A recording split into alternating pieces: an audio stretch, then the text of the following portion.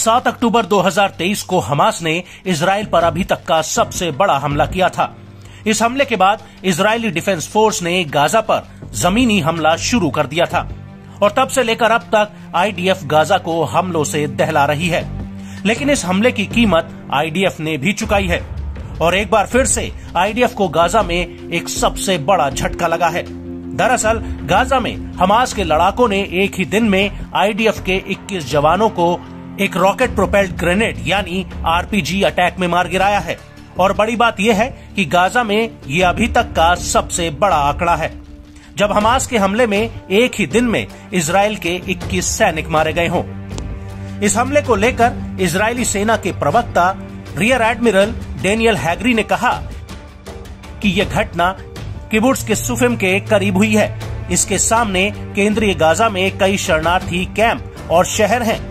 यहाँ पर 21 सैनिक बाड़ी बंदी से करीब 600 मीटर की दूरी पर काम कर रहे थे। ये सैनिक हमास के ठिकानों को गिराकर वहाँ पर सेना के लिए बफर जोन बना रहे थे। तभी करीब शाम चार बजे हमास के लड़ाकों ने एक आरपीजी को एक टैंक पर फायर कर दिया, जो सैनिकों को सुरक्षा देने में लगा हुआ था।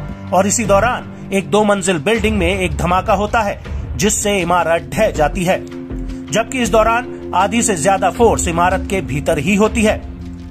संभवतः ये धमाका दूसरे आरपीजी हमले से होता है, जिसकी वजह से बिल्डिंग सैनिकों के ऊपर गिर जाती है।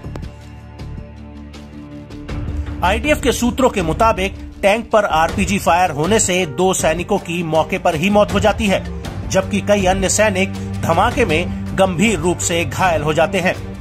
इजरायली सेना का कहना है कि बिल्डिंग में धमाका और उसका धस जाना संभवतः इमारत के भीतर आईडीएफ द्वारा बिछाए गए बारूद की वजह से होता है, जिसे आईडीएफ ने बिल्डिंग को गिराने के लिए बिछाया होगा। लेकिन बारूद के फटने के कारणों की जाँच की जा रही है, लेकिन इमारत का दूसरा हमला आरपीजी अटैक द्वारा हुआ है। रेस्क्यू टीम का कहना है कि धमाके के बाद का नज़ारा किसी भूकंप से कम नहीं है। आपको बता दें कि इस हमले में अधिकतर सैनिक आईडीएफ की गाजा डिवीज़न की दो वी इन्फेंट्री ब्रिगेड के हैं।